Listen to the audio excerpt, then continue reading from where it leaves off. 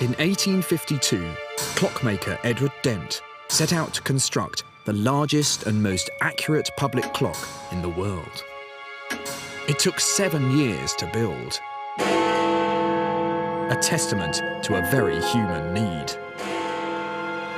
Our modern day lives are completely driven by precise measurement. Take Big Ben. For over 150 years, it's been ringing out the correct time to the people of London. When built, it was an engineering marvel, accurate to an incredible one second an hour. But times have changed. Today, we can build clocks which lose one second in 138 million years. And now there are plans for a clock accurate to within one second over the lifetime of the universe. What is it that drives us to such extremes of ever greater precision?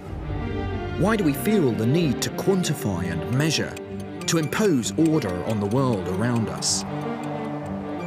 Since our ancestors first began to count the passing of the seasons, successive civilizations have used measurement to help master the world around them. It's taken us to the moon and split the atom, and it fascinates me.